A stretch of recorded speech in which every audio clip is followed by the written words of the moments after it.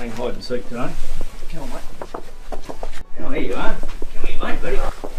Come back here. He was thrown out of mum's pouch and uh, he was at an age where he, he didn't have much fur. It was like a velvet coating on him and he was unable to move. He couldn't hop or walk and uh, just fortunate we come across him and picked him up and uh, subsequently have been caring for him ever since. After we picked him up, he was, he was physically the size of my palm and uh, he weighed around about 600 grams at that stage. So off to the vet we go just to make sure he was okay and uh, with all good intentions that we'd possibly rehouse him with one of the uh, wildlife carers in our area. And uh, as it turned out, the wildlife carers down here are inundated with animals that have been injured.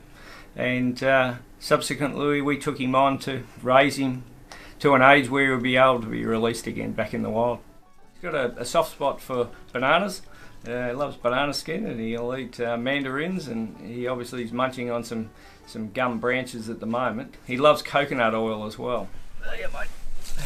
Play with you. Hey Teddy. He's with mum for up to uh, around about 14, 15 months, so he comes and goes out of mum's pouch.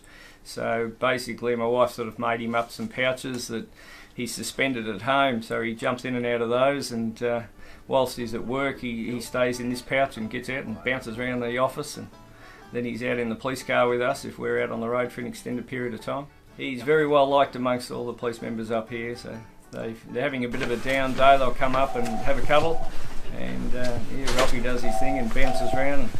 And, um, yeah, he's, he's friendly enough. Why, Morrison, can I help you? We've got three dogs at home and a couple of cats as well. He mingles with those. He'll be curled up in front of the fire as well, and if not, he's bouncing around the house and jumps on your bed. He's yeah, a million miles an hour nowadays. He's a humorous little thing, very affectionate.